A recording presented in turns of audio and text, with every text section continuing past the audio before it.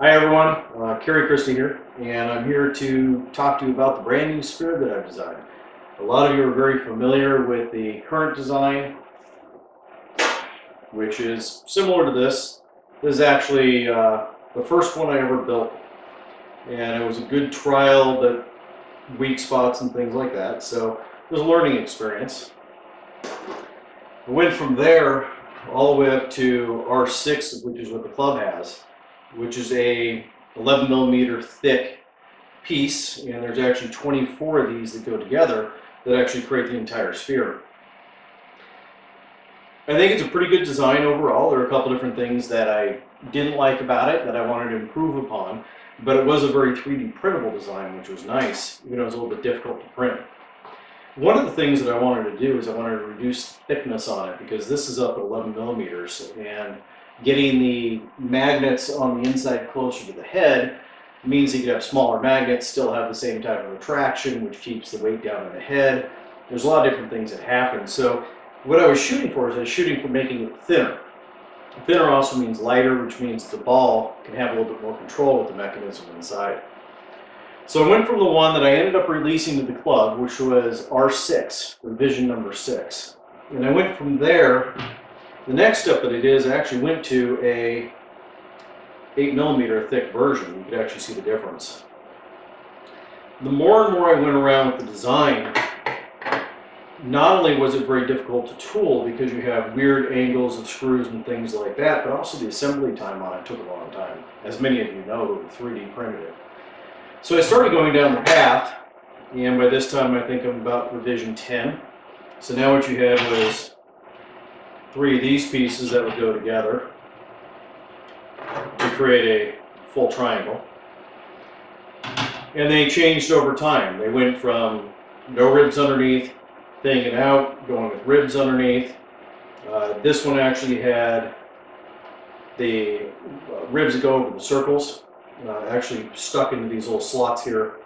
Uh, failed, didn't work. um, it went from there to this type of design where I actually had tabs sticking out, which is nice because you just run the screw through it. But once again, I'm going for a production version of this, and the issue with something like this is when they make the tool, it's essentially two big pieces. And then what they have are slides, which are the pieces which pull out to create the other holes.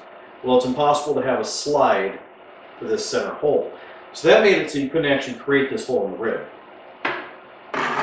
Kept going farther and farther down the path, still working on that design, doing different things like removing ribs. Uh, this version of it, it had nuts that you drop into place for the piece that's screwed onto here, very similar to the T&M sphere. But I didn't like having multiple pieces that needed to be bolted together to accomplish the, the goal either. So as I moved more and more and more down the path, more and more designs, I got into the oh, R20 kind of range, revision number 20, at that point, what I had done is I'd gone from three little pieces to one large triangle piece. And the beautiful thing about this design is it's super simple. You only have eight pieces. These are essentially underneath here, like this, to create the, the skeleton of it. But the more and more I looked at not only my original designs, all the other designs that are out there, uh, with the exception of the aluminum ones, this actual joint when you roll the sphere, when the axle point goes from here to here, so the sphere is rolling like this. As you roll, you inevitably roll over this part right here. By definition, you have not only the skinniest portion of the sphere right here, so it's going to be the weakest, you also have a transition point straight across here so it can crack easy. And most of the time your ribs are in this orientation. So what happens, you have no added strength here. It just simply can crack if you put enough pressure, especially as you go to a thinner and thinner and thinner type of design. And as I just mentioned, as far as where the rib locations are, all my designs had the ability to have the ribs in this orientation. Well, as you know, BB-8 or maybe don't know, a couple of the actual orange circles, the orientation of this portion here was rotated by 45 degrees. That made it so this didn't work out so hot either. So what I did was I completely rethought the project. How do I get easy to assemble, super strong, get rid of the joints and things like that. And in the end, this is the piece that I came up with. It's light, it's strong, tons of ribs underneath that you can see. And what it does is it mounts in a completely different spot. Rather than mounting here, like these did, this one actually jumps the gap. So now your strong portion or your, your skinniest portion of the sphere, which would be the weakest, has no joints. All your joints are actually underneath the center portion of the triangle. So this is what the sphere looks like completed. So now if you look at it, you've got joints here, but your actual triangle pieces, let me step back a little bit. You don't have your joint here, you have your joint here. As you're rolling, if you get pressure here, what happens is it would want to split along this joint, but then it hits this point. And the pressure can't continue, so the pressure essentially dissipates. And what happens is it makes it extremely strong. On top of that, in two different areas, you have your axle mounts, which are supporting those joints. And then this guy, which you guys know is the triangle for the plug. Well, since this is our weak spot here in the sphere, the second you take this and you bolt it over it, suddenly what you have is no real weak spots in the sphere anymore. Everything is overlapping joints, and by overlapping joints and by essentially triangulating this joint, you don't have any spots in the sphere that want to separate. Where these guys come together, you no longer have that weak joint. Everything in this design, every piece supports every other piece. So I'll step on that a little bit. The ribs. One of the things I wanted to have is I want lots of access into the inside of the sphere because we're putting drivetrains in there. Drivetrains mean that you have lots of different large parts that you're building or need to get into the sphere to actually make it work. I didn't want to have to completely disassemble it. So there are some designs out there where there's almost no access to the inside, and that to me wasn't acceptable.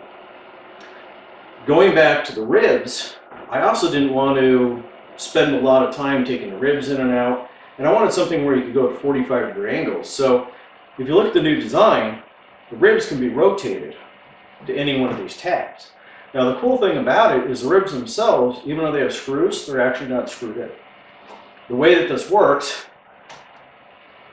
is a pressure fit into place.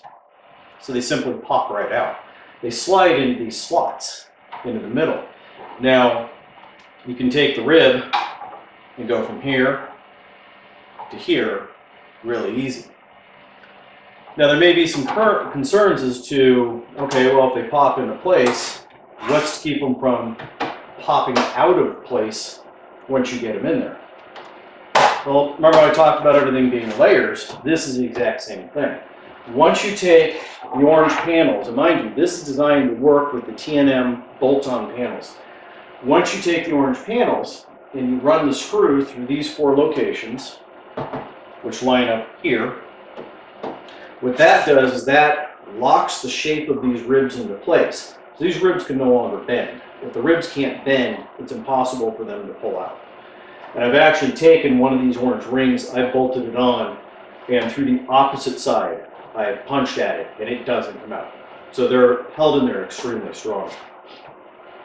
One of the things about this design, by default and by design, is when there's pressure put on the ribs, they inherently help to lock other joints in place. By bolting here, we're locking this joint into place. So everything in the sphere is designed to support every other part of the sphere. Having the TM, TNM panels bolting on over top of this supports this. Having the orange rings bolting on top of this supports this. So the more pieces that you stack onto it, the better. This sphere is only 8 millimeters thick. So compared to the old 11 millimeter, it's substantially thicker, or thinner, sorry. uh, it actually weighs quite a bit less. This one, the production one, once it's done, is right now The actual sphere portion, not including the ribs, is right around five pounds. Sounds like maybe a lot or maybe not. The printable sphere, the one that pretty much everybody's printing right now, is around six and a half out of PLA, six to six and a half out of PLA. The material that this is going to be made out of is a glass fiber injected material. From a strength standpoint, if you were to look at it from a sheer uh, bendability standpoint and flexibility standpoint, it's probably somewhere in the neighborhood of about 30 to 40 times stronger than the PLA. So there's almost zero flex. It's extremely strong.